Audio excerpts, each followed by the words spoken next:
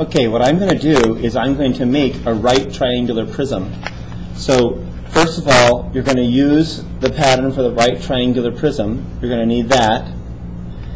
You're going to need a pair of scissors. And you're going to need some glue.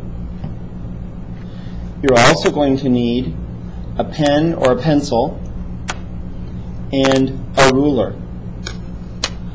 To start out doing this, what you want to do is open your pen up and go onto the shape.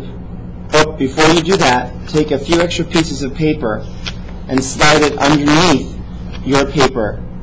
That will allow your paper to make an indentation on your picture. Take your pen and use your ruler and push down along the dark edges of your shape. You don't need to push down on the edges of the tabs since you're going to be cutting those out.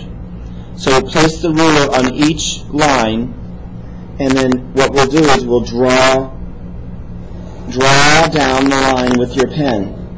This will help there to be an indentation for when you want to fold things later. So I'm going to do this on each each side of each shape and that will allow me to fold this much easier when I go to do it. If I don't, I'll be trying to crease and fold accurately at the same time, which is very difficult to do when you've got just these little tabs hanging off the edges. So I'm putting the ruler just slightly off the line so that when I put the pen down, it's on the line. And I'm tracing every single one of these lines.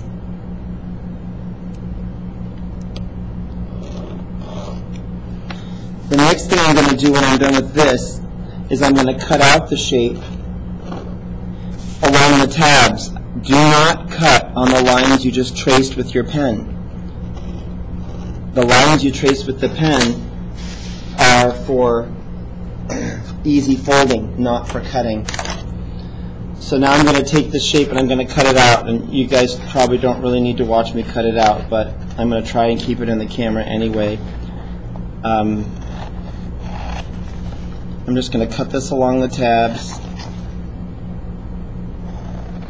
But I basically want you to get an idea of how long this will really take you to do. I'm trying to cut fairly quickly because I want to get this done.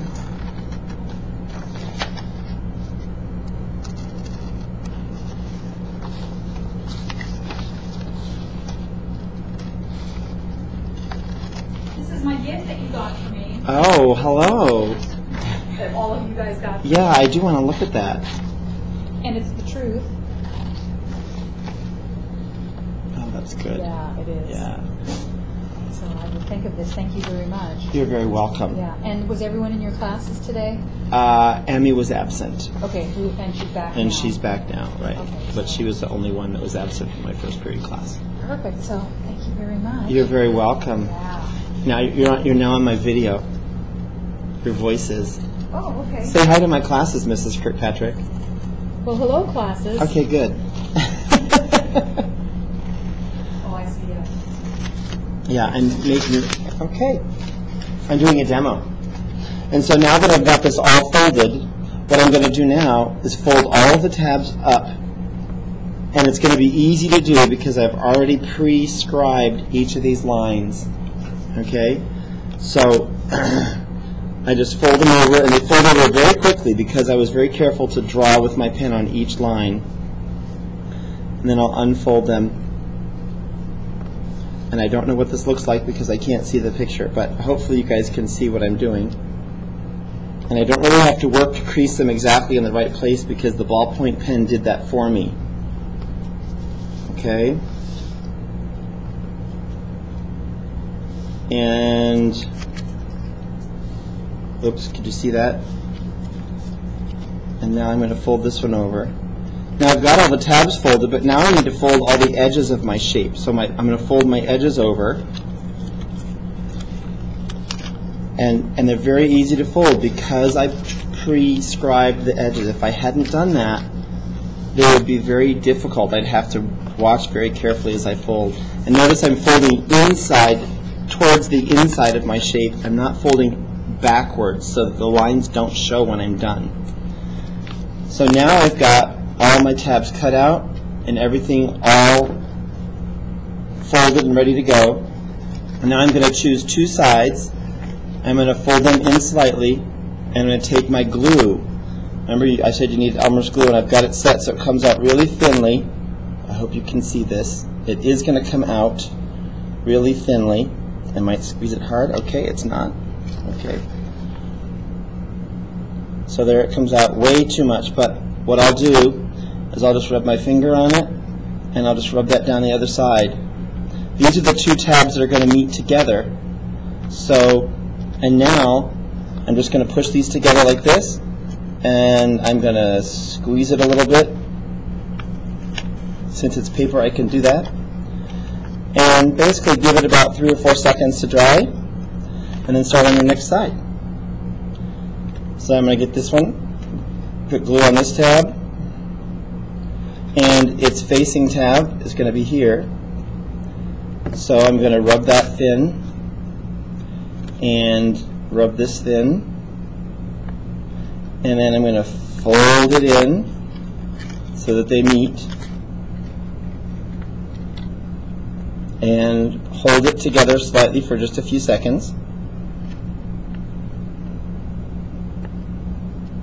Now I'm noticing that these two sides are going to have to be done next, so I'm going to go ahead and kind of fold this in.